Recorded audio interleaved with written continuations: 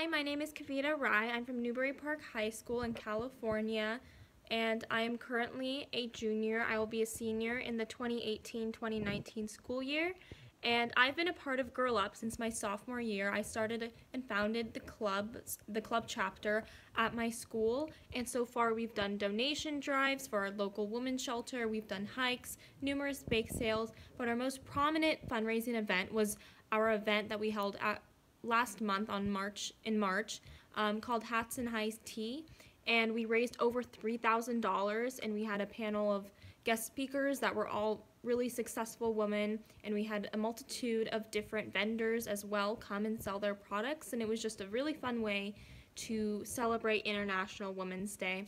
And I can't wait to see what other fun projects I get to do as teen advisor, and I'm really excited to use my voice as a platform to discuss issues that are passionate about me, to me.